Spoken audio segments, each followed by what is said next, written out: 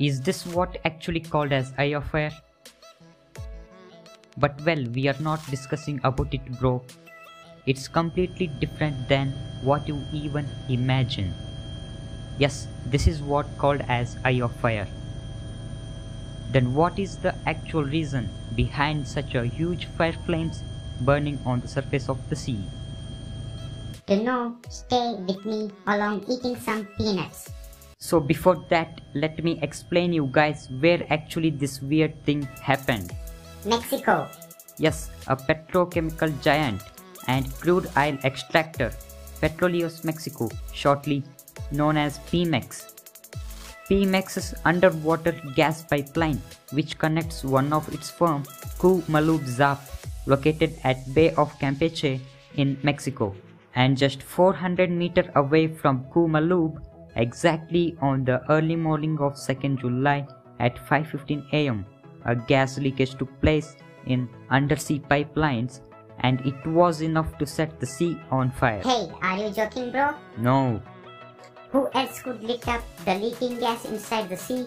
That is our reason number one. According to some of the researchers claim that due to the heavy rain with storm and lightning which had hit some of the undersea pipeline equipments causing the leakage of the gas.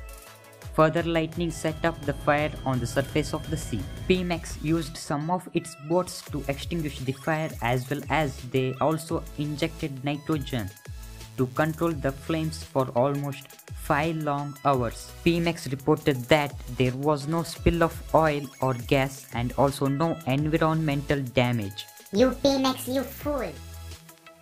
I want justice for aquatic creatures got harmed around Bay of Campeche due to major oil spills.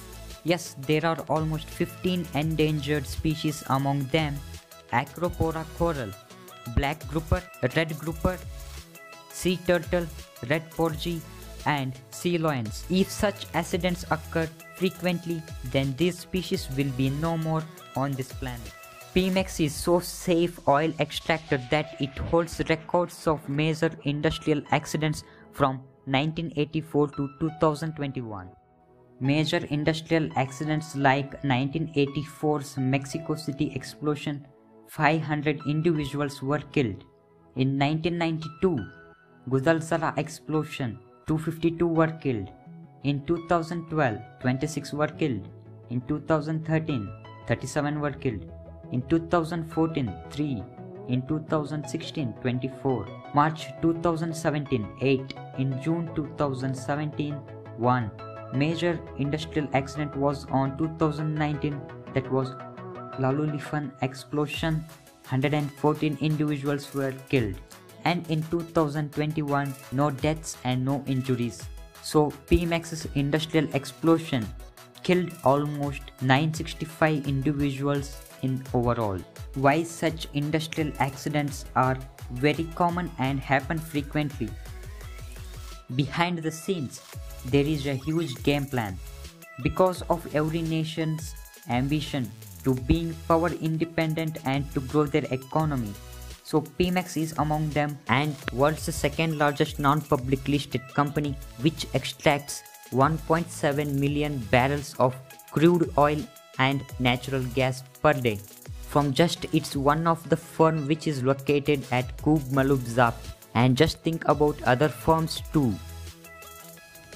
So guys that's up for today and let us meet in the next video till then bye bye. Okay guys, bye.